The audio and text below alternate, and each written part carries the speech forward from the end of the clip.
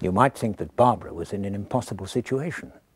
But while El Akir praised his guards, she managed to escape and hid in the palace harem. I had a more serious problem. Thinking I was a rich merchant, my Arab captor, Ibrahim, had pegged me out on the sand, hoping to find out where I'd hidden my gold. By way of persuasion, he poured honey onto my chest and wrists and made a trail to a nearby ant's nest. I told him my gold was in my boots, so he had to untie my legs. That's when I surprised him and forced him to be my escort to Lydda, where Barbara was being held prisoner.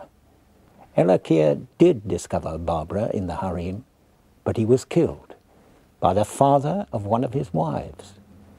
With Abraham's help, we stole some horses and made our escape.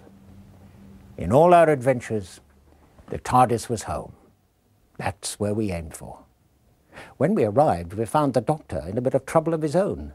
The Earl of Leicester was convinced he was a spy and had followed him from Jaffa. He was on the point of dispatching him, but I begged permission to do the deed myself, claiming he had caused the deaths of my brothers in arms.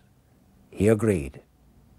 And as he turned away, we slipped into the TARDIS. we laughed about it afterwards as the doctor operated the controls, and I sat back in his favorite armchair on course for another adventure. But that is another story.